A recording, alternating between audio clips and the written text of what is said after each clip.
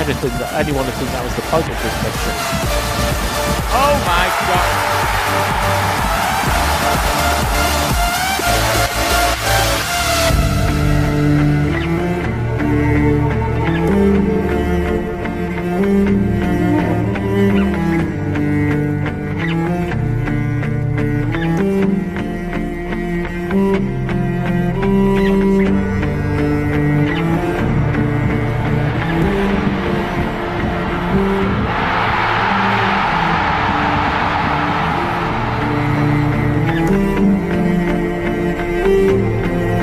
Jagger wants it back. He gets it back and leads it through for Holtby. Oh, it's off the line.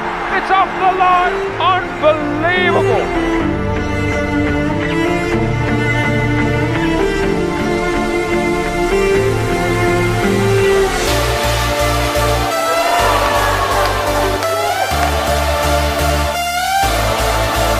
Box now, Anderson clips it towards goal. Oh, what a clearance from Ben Mee.